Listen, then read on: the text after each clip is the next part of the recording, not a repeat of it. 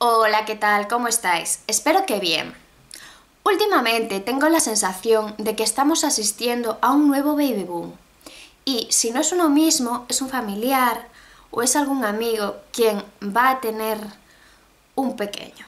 Por lo que todo su entorno se ve obligado a tratar con uno o más niños.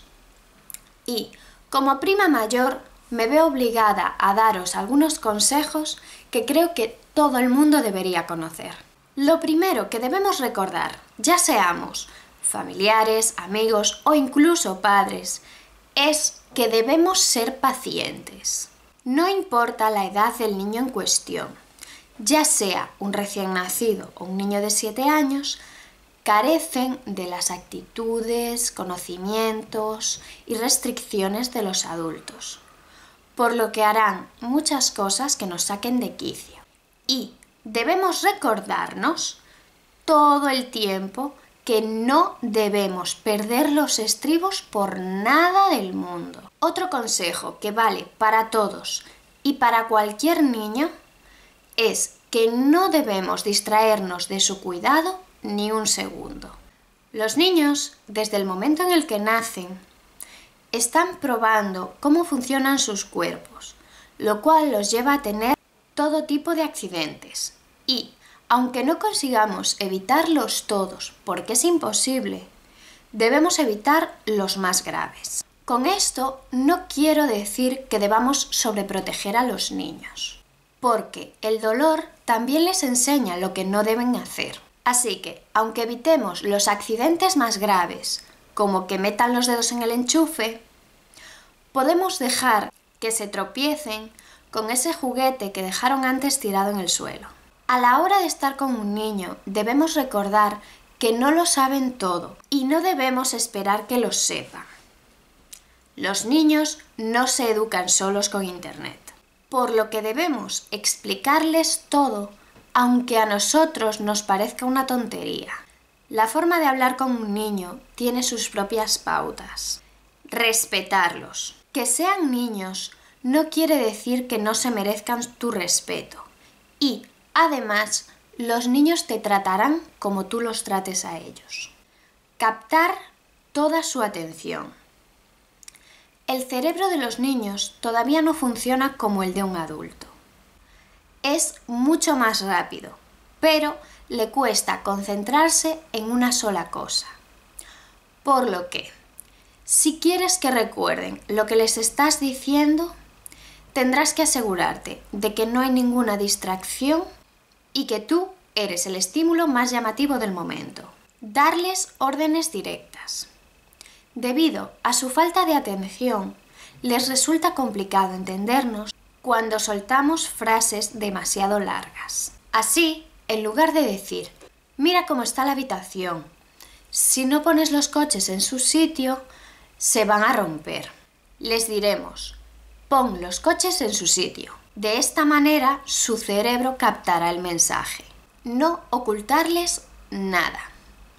Cuando un niño pregunta algo y le contestamos con evasivas, diciéndole que eso es cosa de mayores, que no lo entendería, estamos creando un misterio alrededor de algo que provocará su curiosidad y buscará y quizá encuentre información que no sea la verdad. Entonces, para evitar esto, simplemente tenemos que explicarle todo, aunque creamos que no deba saberlo. Explicarle las cosas de una manera simplificada, que lo pueda entender y que no le cause ningún trauma. Pero no decirle, eso no lo entenderías o eso es cosa de mayores porque eso crea una serie de tabús que cuando se es mayor eh, son muy difíciles de solucionar. Este consejo, aunque es obvio, es necesario repetirlo. Debemos evitar la violencia alrededor de los niños. Y no solo la violencia física de darle, de pegarle, sino también la violencia verbal, como insultos, eh, desprecios y demás, no solo dirigidos al niño, sino dirigidos al entorno, delante del niño, no decir palabrotas, no eh, pegarle a alguien, que no vea violencia. Porque si un niño recibe violencia o ve violencia y la ve como algo normal, lo va a realizar cuando sea un adulto. En esta sociedad se considera normal regalarle a un niño una pistola, pero se le tapan los ojos cuando dos personas se besan. ¿Qué mensaje le estamos dando? La violencia es un juego, dos personas que se quieren es algo malo.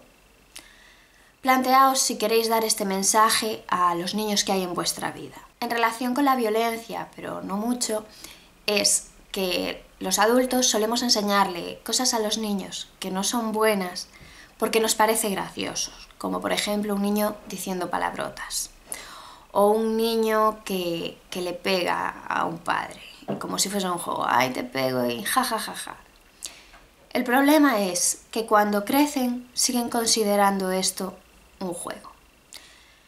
Así que no vamos a enseñarle cosas malas a los niños para reírnos, para que luego, cuando no nos haga gracia, sigan haciéndolo. Otra cosa que todo el mundo se supone que sabe, pero no lo aplica, es que los niños aprenden imitando. Si te ven hacer algo, lo van a imitar. Por lo tanto, que vean siempre actitudes positivas en ti. Leer, comerse todo lo que hay en el plato, ser buena persona con los demás, que esas cosas las vean.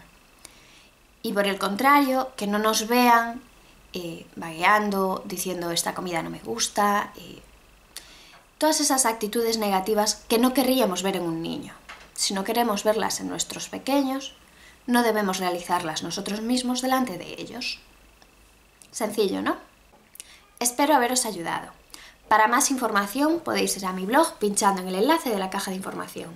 Si tenéis alguna duda, petición, crítica, idea o lo que sea, me podéis dejar un comentario aquí abajo, en el muro del canal, en mi Twitter, arroba iriateayuda, en mi Facebook, iriateayuda, o si lo preferís, podéis enviarme un correo a iriamatch.gmail.com. Si os ha gustado y queréis ver más vídeos como este, suscribiros. Muchas gracias por ver el vídeo y hasta otra.